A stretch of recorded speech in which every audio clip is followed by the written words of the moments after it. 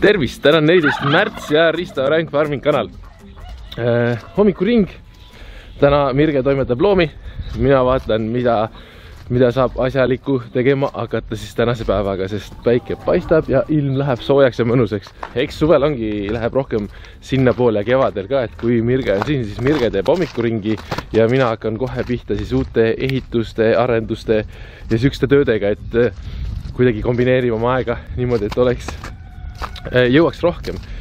huvitav, et see jõudluse värk on meil ikka nii, nii sees, et peaks ikka jõudma rohkem. et äh, aga ärge unustage kindlasti ka puhata, selles mõttes puhkama peab ka vahepeal. et täna mina hakkan siis, äh, kuna maa on kõva, jääs, kruus on jääs ja öösel on väga külm, siis nagu segutöid teha ei saa, segu vundamente valada ei saa, siis tõenäoliselt ma valmistan ette selleks, et kui vundament on valatud, et siis saaks kohe raamid püsti ja ehitused püsti, et saaks nagu võimalikult ruttu onju.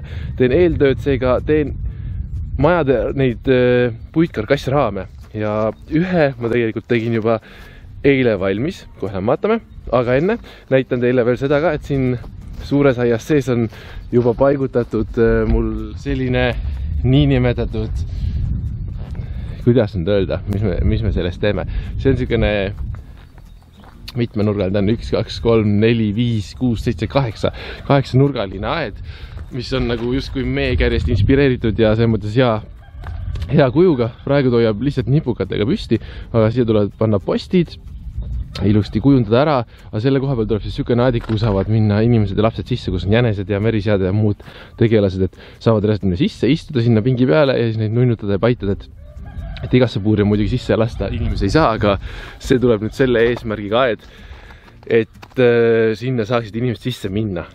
eile tegin valmis siis juba pakenduskeskuse seinaraamid, et äh, noh, põhimõtteliselt seda tööd teeme täna edasi ka, et teeme teistel maadel seinaraame, nii palju kui meil prusse on ja tõenäoliselt prusse on rohkem veel, kui vaja on.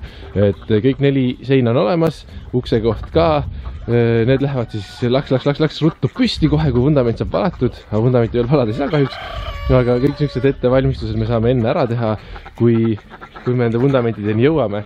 sellepärast ongi nagu äge, et kasutame ilusti ilma ära ja teeme niisuguseid asju täna juurde.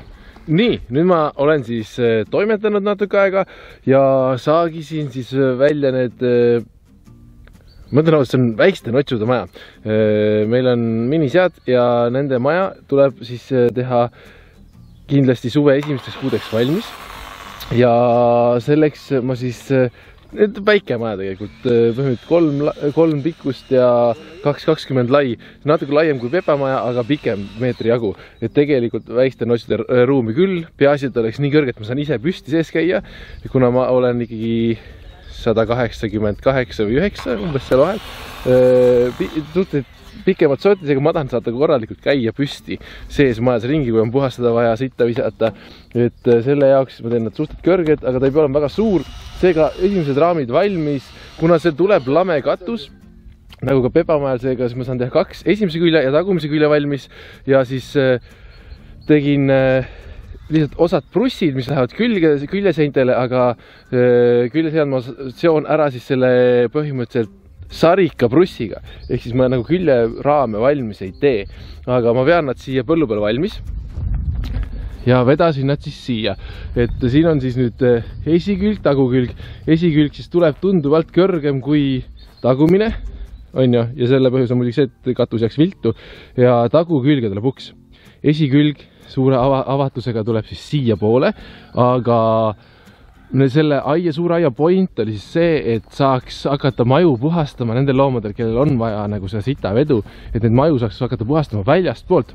ehk siis siin on nii palju ilusti ruumi, et me nüüd ostame murutraktorile käru ka, tulevikus võib-olla, ehk saame hakkama sellega, siis siit, siia saab räägime nüüd ilusti suurest plaanist, et äkki, äkki kunagi sinna mingi killustikuga tee ja siis saab murutahti käru siia ja maja siis see tagusein, kus on uks, tuleb siis siia vastu kohe, siduda muidugi võrgu ära, et ja siis sealt tagant saab sisse sidavedu ja siis siia ettepoole tuleb siis maja esikülg, kus on aken ja siis nendele loomadele aed ilusti, kes siis siin elavad.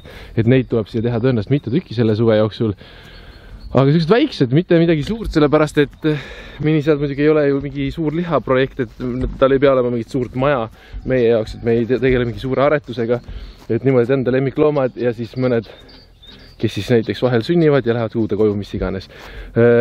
siin on nüüd siis, alumine on siis esiraam, taguraam ja siis külgede peale alumised prussid tõin ära ja nüüd ma pean siia peale ära ka veel siis neli sarikaprussi, mis tulevad täpselt kolmemeetrised, siis mõlemalt poolt jääb nelikümmend sentimeetrit, kolmkümmend, nelikümmend senti jääb seda räästaruumi ja ongi materjal seal üldplaanis. no mõned prussid lähevad niikuinii veel, ehk siis külje peale veel mõni, aga noh, üldplaanis me saame nagu asjad ette valmistada niimoodi, et kui saab vundamendi paika, siis läheb laks-laks püsti ja on ka enam-vähem ülevaade, mille materjal meil olemas on.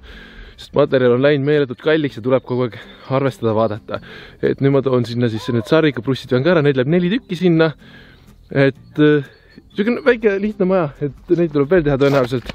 aga see on täna siis juba saavutatud ja muidugi pakendusruumi neli seina on ka olemas seinaraami, seina pole olemas seinaraami, aga sinna läheb viilkatus, seega prussi läheb katuseks natuke rohkem, aga kuna siin on kõik viilkatusega need, see vutimaja ja pardimaja, siis me teeme sinna kompleksi nagu viilkatusega selle lihtsalt visuaali pärast veel.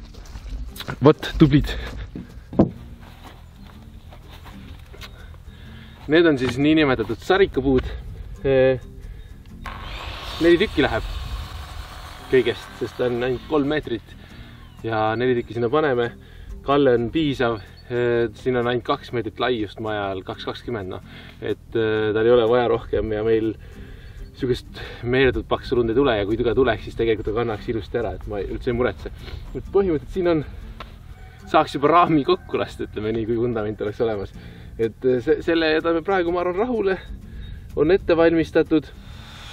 mõni päev ma teen kindlasti neid raame veel, selles mõttes tegelikult võiks ühe sihukese maja raami teha veel, sest me tahame saada endale Vassanti lambaid tõenäoliselt ja siis nendel oleks vaja ka sihukest, sihukest maja, mis nagu talveks ka jääb.